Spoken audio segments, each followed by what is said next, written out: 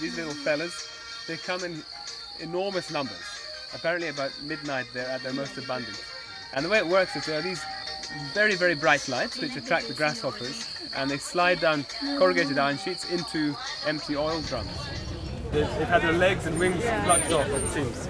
But they're still alive, which is slightly disturbing. Could we please order one bag? One, one foot. Is that Wazungu price? Yeah, yeah. That's normal price. That's normal price. It's good, is it?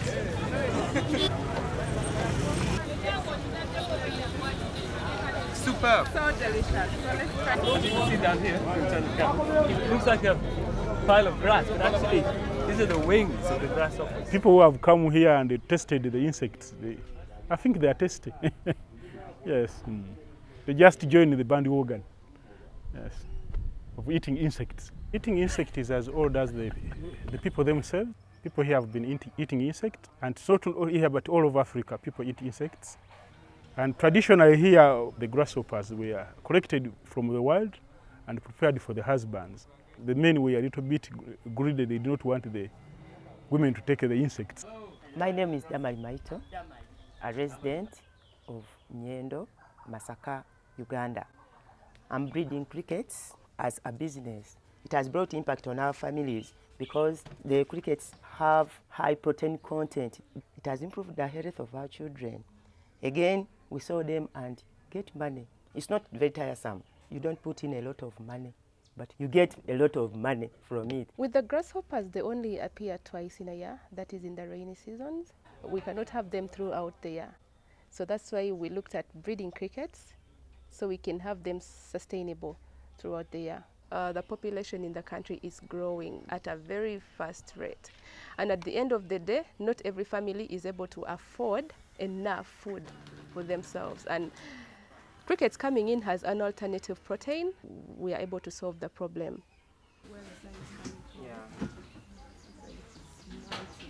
Now, after five to 80 days, we put them in a dryer.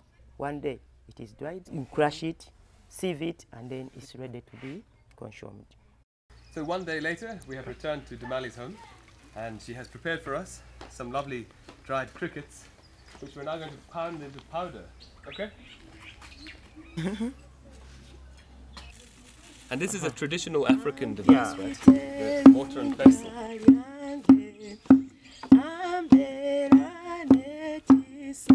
Yeah. yeah. When it has come totally to powder, you stop. Mm. Oh, you can't shove your granny off a bus. No, you can't. Oh, you can't oh, shove your granny, cause she's your daddy's mommy. You can't shove your granny off a bus.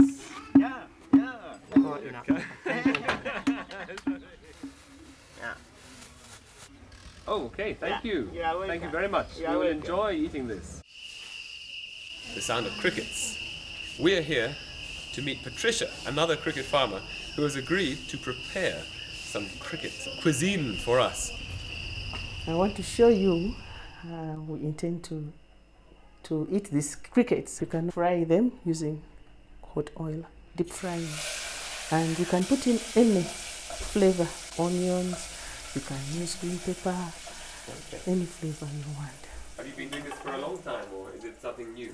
Ah, it is something new. This is how they look like when they are ready. I'm very interested to try these. Yeah, Well, they certainly look very appetizing. I'm going to take a few. Thank you. Well, it's very, very delicious. You will want more than one. Mm. It's so delicious. Mm. Oh yes, it's got a rare smack to it. They are packed full of protein, good fats, minerals, vitamins and fiber. Here in Africa, over 500 species of edible insects have been recorded. Yet there may be problems associated with their large-scale harvesting from the wild. It may not be entirely sustainable. Moreover, many of those species are only seasonally abundant. That's why insect farming is so attractive. It's a resource-efficient, cost-effective, sustainable way to feed the masses year-round. Look no further than crickets. They require one-twelfth the feed of cattle, far less water and land, and they do not transmit zoonotic diseases. There is no such thing as mad cricket disease. So there you have it, the food of the future, a widely available, dirt cheap, ecologically friendly superfood. If you care about your health and that of the planet, it's high time you got over the yuck factor and embraced entomophagy.